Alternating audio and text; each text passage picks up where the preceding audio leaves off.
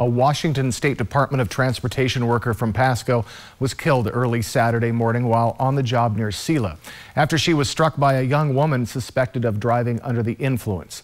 KAPP KVEW's Ellie Nakamoto White spoke to Bonnie Stewart's family and friends earlier today and shares their plea to drivers. I usually stop every day when I'm on the way to work, see her.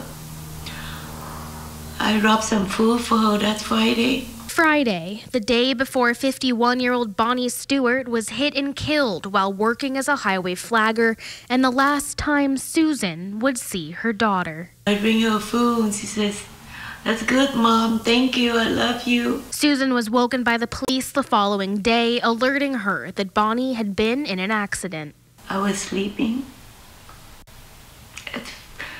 when the cop come, it's 5.30 in the morning. Now all they're left with is their memories. She was a good mother. She was a daughter. She was an aunt. She was a friend. She was everything to everybody. Alicia, Bonnie's best friend of nearly 30 years, says she was cooking breakfast when she heard the news. I hit my knees and I screamed, My Bonnie's dead.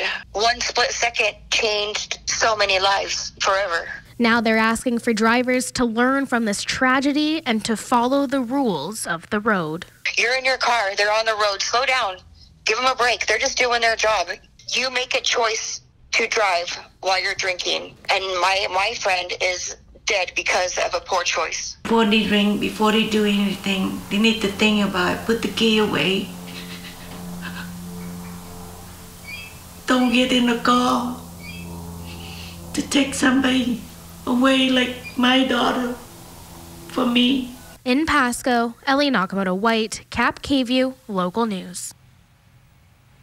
Family and friends say they will remember Bonnie as an amazing mother and person with a kindred spirit and a heart of gold who would do anything for anybody.